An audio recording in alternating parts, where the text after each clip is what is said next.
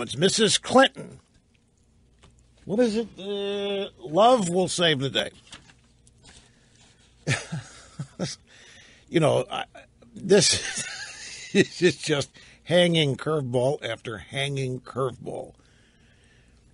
She said, We got to do everything we can to weed out hate and plant love and violence, like leaving her ambassador and his staff unprotected and undefended in Benghazi.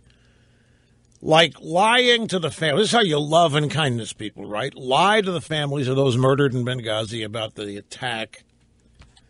You know, this is big, by the way. She's now out there telling everybody she never told the families that the video was responsible for the attack in Benghazi. She never told the families that she was going to arrest the video maker and all four families are standing up and shouting she's lying. All four families are proclaiming to anybody who will listen, she did tell us Benghazi happened because of that video. And she did tell us that they were on the verge of arresting the video maker. And she promised that they would get this guy the maximum punishment. And now she's out denying she ever said any of that part of the love and kindness approach. And we could say this about many other things.